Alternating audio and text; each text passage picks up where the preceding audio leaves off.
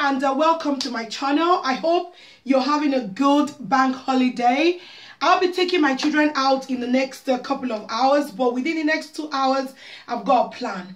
In the last few days, I have put together a list of a hundred questions. Get it?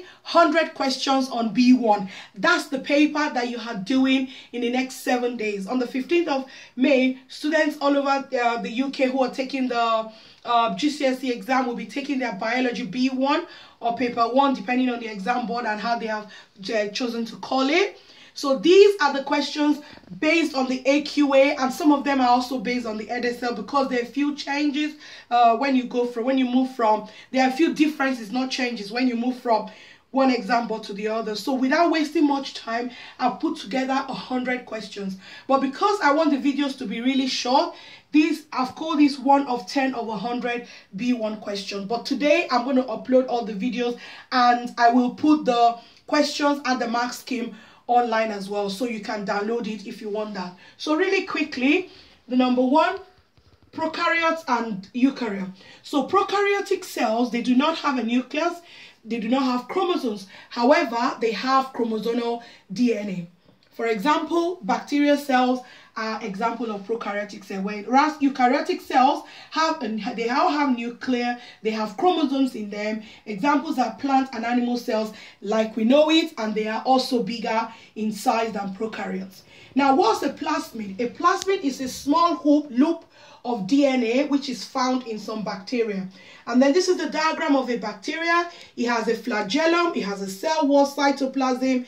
This is the plasmid DNA, this is the cell membrane, this is the chromosomal DNA, you also have ribosomes. In terms of a, uh, a, plant cell, it has a cell wall like a plant cell, and like an animal cell, it has a um, flagellum. So there are similarities in case that question was to pop up on your paper. And then number four, the things a plant cells has that animal cells do not have are the cell wall, the vacuole, and the chloroplast. All the other features are by and large the same in a plant and an animal cell. And the specific functions of um, um, organelles you find in the animal and plant cell. Mitochondria is the place where respiration happens. Ribosome is involved in protein synthesis. And chloroplast in plant cell, they are involved in photosynthesis. You also have the cytoplasm, which is a jelly-like material that you find in the plant cell where all reactions happen. You also have the nucleus in both plant and animal cell, which uh, hold the DNA, and you have the cell membrane. The function of cell membrane is it controls what goes in and out of the cell. So very quickly, that's my comparison for you.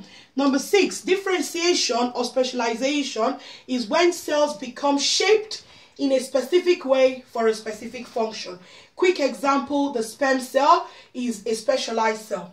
It has a tail for swimming to reach the egg and a pointed head to pierce through the egg. By the way, it also has um, some uh, enzymes. The, it has some enzymes in the head which it uses to uh, uh, dissolve the wall of the of the egg cell in order for it to successfully um, pierce through. And then I said the egg cell is very rich in fact, to sustain the developing zygote before it's able to turn into a fetus and attach itself to the mother with the umbilical cord with which it can get nutrients and oxygen from the mother. And then number eight, the electron microscope in terms of how it is better than the light microscope, it has higher magnification and a greater resolution which means is able to allow us see the inside of cells in greater details. So you can easily pick out the nucleus from the cytoplasm. You can pick out the micro, the other subcellular structures using an electron microscope. And then number nine, mitosis is different from meiosis in the sense that two daughter cells are produced at the end of mitosis, which are diploid in nature. And at the end of meiosis, four daughter cells are produced, which are half the number of chromosomes of the of the uh, parent cell and this is how you end up having gametes gametes are sex cells so in human cells mitosis will end up as 46 chromosomes in the cell, but it will be two daughter cells, and meiosis will produce four daughter cells with 23 chromosomes each. Sometimes they could ask you a question and say, after three steps, uh, or after two stages of mitosis, how many cells are produced? The first stage will be division and it will be two cells, and the next step, two cells will divide into four cells, and that means you end up with four cells. Now, the last one, diploid cells are a pair of each chromosome. So you have chromosomes occurring in pair.